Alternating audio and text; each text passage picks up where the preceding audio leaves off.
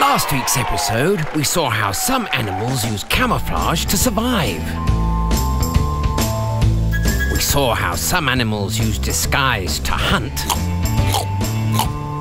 while others use disguise to avoid being hunted. And some use disguise for both. Now that you know this great survival tool, let's see if you can spot some hidden creatures. I mean, take a look. Can you find the insect on this branch? No! The branch is the insect. Get away. Let's count them. One, Oh, good morning to you. two, That's a hello from me. three, Nice to meet you. four. Hey, how you doing? These creatures are so well camouflaged that they often remain unseen. And I have to tell you, you can't call me Twiggy. Twig, you like that, Twiggy? Did you get it? Good grief. Are these rocks moving? Did he just call me a rock? The They rocks are a rock? actually three sea slugs. I heard them. I heard I'm what they said. one. They How can said you call you were number rock. You're I'm number one? Where are you creeping after? I'll be creeping along rocks and seaweed using my two tentacles to aid navigation. Oh, really? Creep. Can you spot anything interesting on the branch? Over here, uh, uh, I say, no, you're looking quite the wrong place. Over here, a bit more to the left. Go, go on, keep going, keep going, keep going. Yes. Yes, Here we find the cicada. that's me. The cicada may be very good at hiding, I certainly am. but it's one of the loudest bugs in the world. Bug? Who are you calling a bug? I'll come and bug you. Land on your head and bug your head. and bug- Stonefish alert! Where is that stonefish? Keep your eyes peeled for one of the deadliest fish in the world. Yes, I just hate being stood on, you see? So you stand on me, my poison spines will kill you, yeah.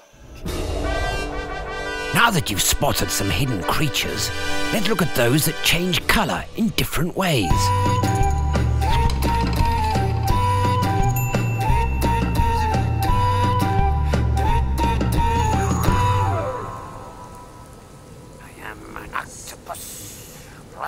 Even though it cannot see color, the octopus is able to change its own body color and pattern to match a reef or seafloor.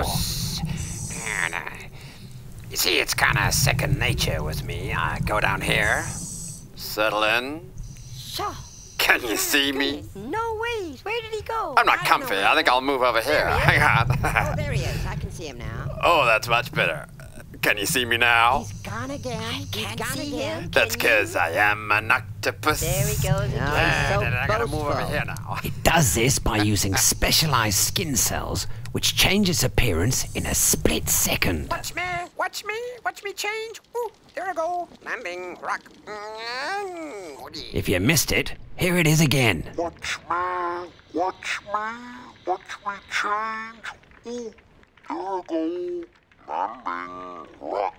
Mm,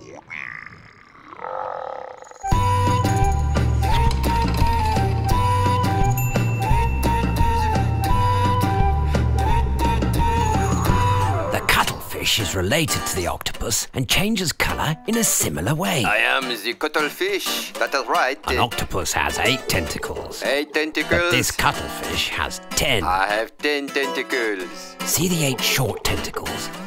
They have suckers at the tips, while the two longer tentacles can stretch far out to catch prey. I may be only really small, but I have ten tentacles, and the octopus only has eight. So that makes me really great. Don't you like them? Look at my fringe, caused by those eight tentacles. Looks really cool, huh? Then I've got the other two tentacles to reach out and pull you in, baby. Come.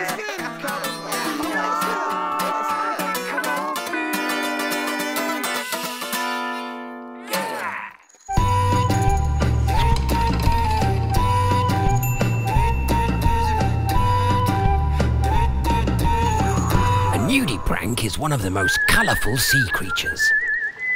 And we're so colorful. So beautifully colorful. So amazingly It's able to take on the colors of the coral on which it feeds. Are you eating me? I most certainly am. And look, I'm a beautiful blue and yellow. That's to match you while I'm feeding off you.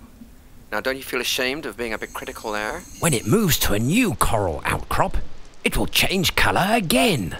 And now I'm in black and red. It is amazing. No wonder it is sometimes called the butterfly of the sea. So amazingly colorful. And finally, the famous chameleon! Cells under its skin allow the chameleon to change colour and reflect light. Hot sand. Ah, wow, hot sand. Even though it can be used for camouflage, chameleon's colour change is also a means of communicating mood. Well, I'm feeling rather mellow myself. I'm not feeling too good. Chameleons look comical when they walk oh, because they use diagonally opposite limbs. Sand. The sand is hot, my man. And if you were gonna walk around here, you'd look comical too, son. Oh, hot sand. Hot sand. Now you'll be able to spot different creatures and understand how and why others change colour. Watch out for the next series on Animal Record Breakers.